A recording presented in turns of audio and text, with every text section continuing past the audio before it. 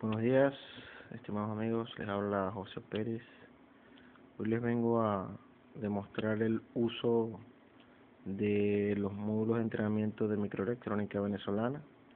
Estamos aquí en presencia de un módulo de entrenamiento UV ALE 40. Eh, voy a explicarle cada una de sus partes. En este caso tiene grabado el programa de un invernadero eh, el cual controla iluminación, temperatura y humedad. Empezando desde el principio del propio circuito de la alimentación. Pues. Acá tenemos un jack para transformadores de 12 voltios, que son comunes, son eh, comerciales. Tenemos una serie de borneras que significan las entradas de señal tenemos un regulador de 5 voltios con dos condensadores, uno en su entrada y uno en su salida.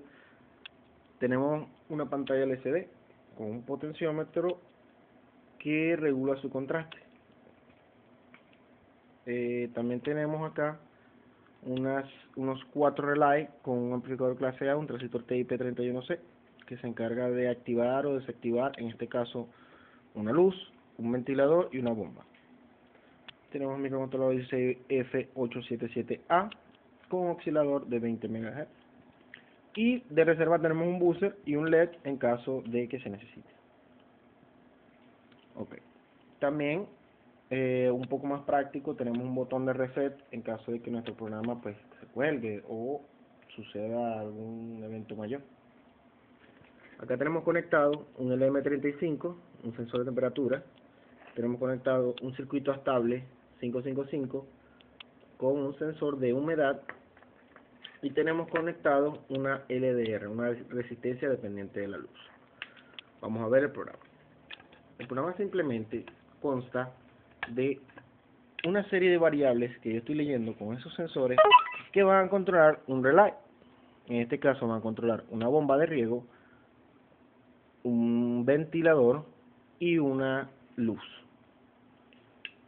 debido a que las plantas deben ser, eh, por decirlo así, deben tener incidencias este, de luz 16 horas, el LDR se encarga de, el LDR que es este que está acá, se encarga de encender un relay cuando la incidencia de luz sea menor a 10. Yo voy a, conectar, eh, a, a exponer este LDR a una luz directa para que vean cómo sube acá acá abajo, esos tres números que están ahí, le dice 2, 002, cómo sube la cifra.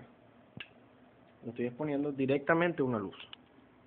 Entonces, al exponer directamente esa luz, la luz que debería estar prendida apaga.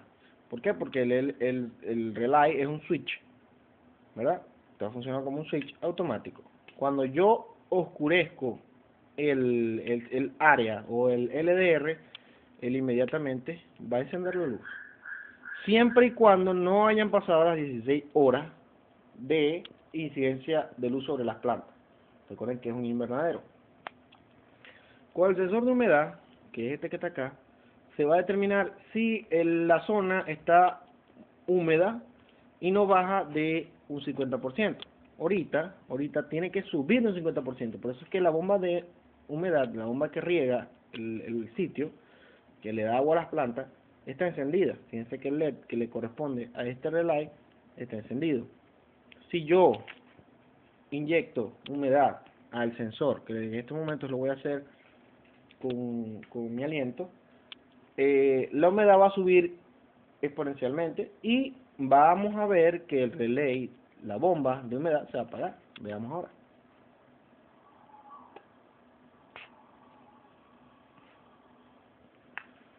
Llegó hasta 80, 90, ok, ese fue el tope de él, ahora va poco a poco a bajar.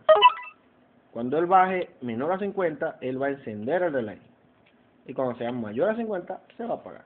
En este momento vamos por 60, 50. Ahí encender el relay. De todas maneras, se escucha cuando enciende. Por último, tendríamos el sensor de temperatura que simplemente a través de este relay que dice ventilación, eh, vamos a mantener la temperatura entre 30 y 29 grados. Recuerden que en el ambiente la temperatura no varía tanto ni fluctúa demasiado rápido. Pues. Entonces yo voy a, con un yesquero, voy a calentar un poco el sensor. Vamos a ver. Llegó a 30 y encendió el LED que antes estaba apagado. Va a bajar de 29, cuando baje de 29 se apaga. Muchachos, esa fue la demostración de los sensores del invernadero. Espero que tengan un feliz día. Muchas gracias. Eh, cualquier información, escríbanlo o pregunta, escríbanlo en la caja de comentarios. Feliz día.